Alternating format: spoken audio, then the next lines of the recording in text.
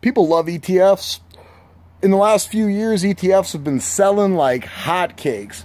An ETF is an exchange traded fund. That means it trades on the exchange just like if you were to buy an equity or something. It's going to trade at the exact same time that exchange is open. It's going to have a whole kit and caboodle of funds inside, little stuff. It's a mutual fund, basically. It's a mutual fund with fun different names, and it's got a different, probably, wording for the MER and it's like I would imagine mutual funds were in the 80s when the Magellan Fund was going crazy at Fidelity. Everybody was in it. Everybody's in exchange traded funds. July ETF inflows $27 billion moved into ETFs in July.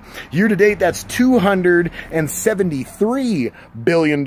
That's a lot of billions. Have moved into ETFs. That puts us only $13 billion shy of ETF inflows from the record year. Do you want to know when the record year was? Considering people like ETFs a lot recently, it was last year. Last year was the year, and we're 13 billion shy of that right now.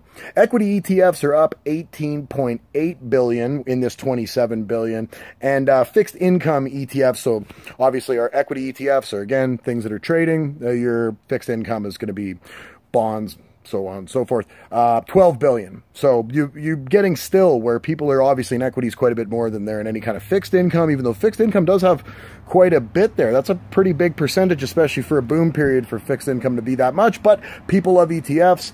If your ETF's doing well, I would imagine it probably is. Uh, in a market like this, it's pretty tough not to be with intraday and all-time highs on every every uh, benchmark you could imagine. It, it is what it is. You're going to be doing well. So I'm sure your inflows are doing excellent. ETFs, they're not the worst thing in the world. So obviously look into it, research. Um, don't listen to me. Go consult a professional financial advisor. You want to do all the due diligence. Make sure you're totally comfortable. You've, you know, make sure you've covered all your bases. It's your money. You worked really hard to earn it. So let's make sure you protect it. Um, financials, tech, and healthcare are the things that are up the most. Those are the ones that are really driving the ETF growth and the material ETFs are the things that are down.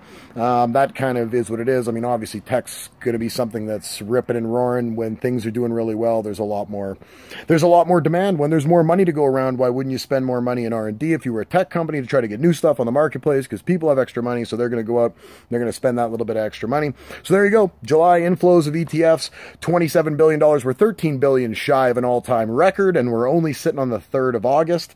So ETFs are doing quite well. How are your investments doing? Let me know. Subscribe. Wall Street Breakdown.